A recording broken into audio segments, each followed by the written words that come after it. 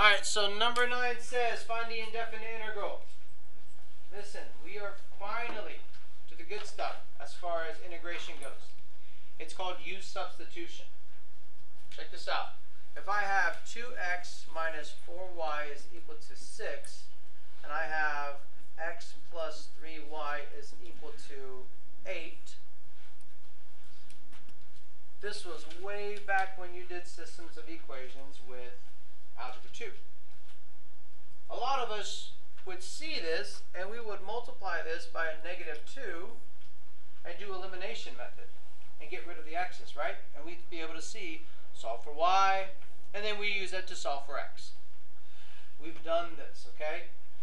Very few of us would actually use substitution and rewrite this next equation, the second one right here, and we would use this so that we have this x is going to be replaced here, so that we have 2,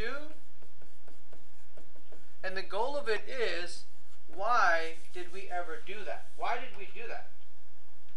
Help me out. Why did we do that? To solve for one variable. We're trying to write the equation in terms of one unknown, not multiple unknowns. Substitution is what we did. You with me?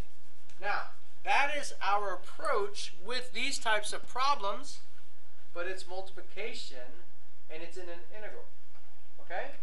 So let's go ahead and look at this. Your goal is to look for, and I erased a little bit too early, your goal is to look for the biggest parenthetic piece that you can find. Okay? So look for the biggest parenthetic piece that you can find. So in this problem, the biggest one that I see that I'm going to assign as u is going to be 6x squared plus 4. Okay? Now, if I were to rewrite this original equation, I'm going to do it off to the side over here, and I'm going to rewrite pieces and parts of it. What would I replace as 6x squared plus u? What would I put over here in my new equation? By substitution, what would I put? u. Okay? Now, now that I've picked up this piece, I'm no longer looking at it.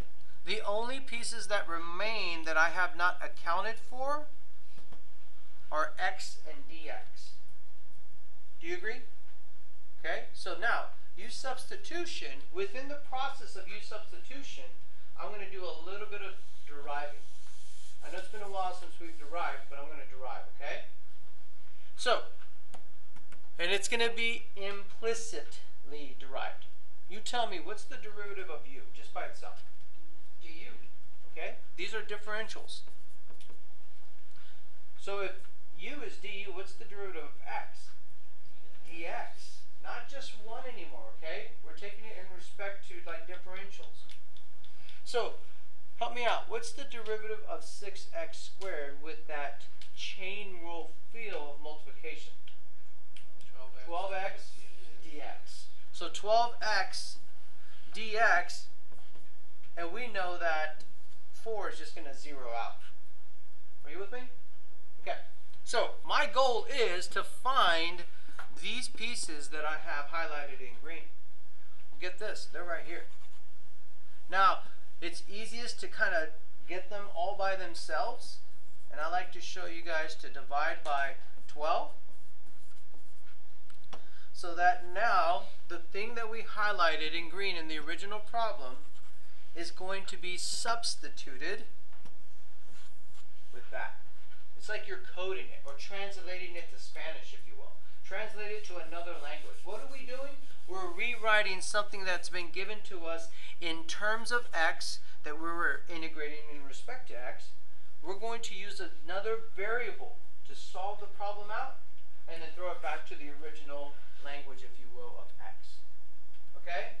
So, where I used to see 1 half dx, or sorry, when I used to see x dx, I'm now going to put 1 half du. So 1 half du is going to be like 1 half du per se. Or my bad, 112, thank you. So the 112, I'm going to write here.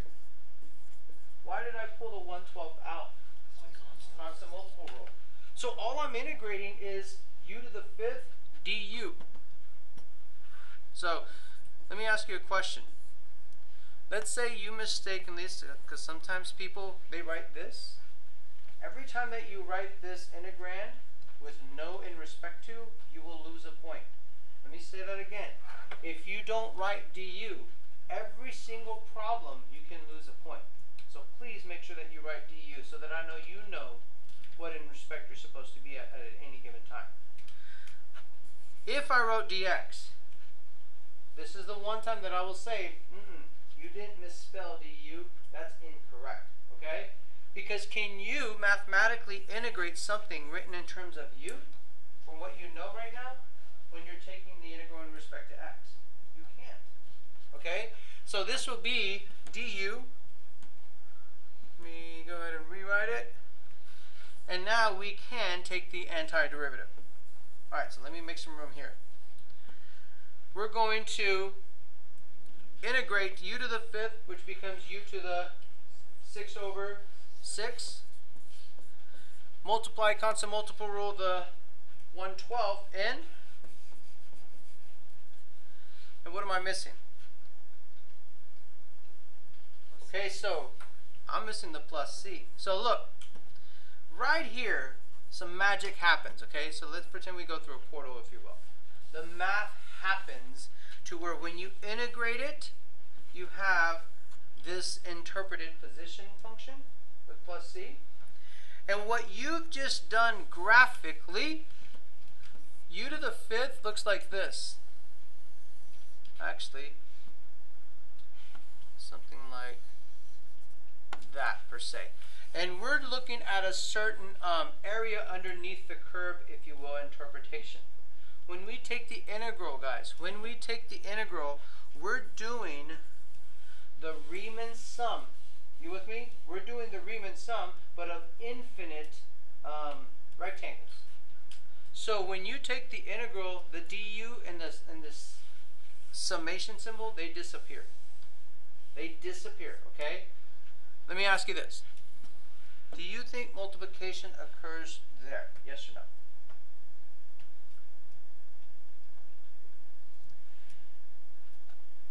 Does, and it doesn't. Look at this. Isn't this the derivative of, let me give you another example problem. The derivative of 2x in respect to x is 2. Is this true or false? True.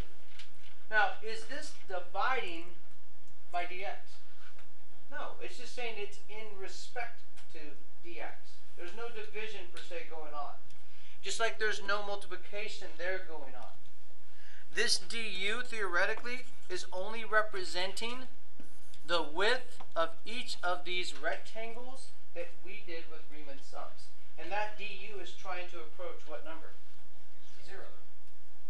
Theoretically, that's why it's there. Notation-wise, it's just because it's in respect to u. Are we good? But when we take the integral, it disappears. The du is no longer there. All right. Why is my answer still wrong right now? Because I got to plug back in in terms of what? In terms of x. So remember, I chose the biggest parent parenthetic piece to be u, and when I get to my answer, guess what? I'm just going to go back and I'm going to put the 6x squared where the parentheses was. Okay? And hence, that's why you get the 1 over 72 times that quantity plus c. Any questions? All right.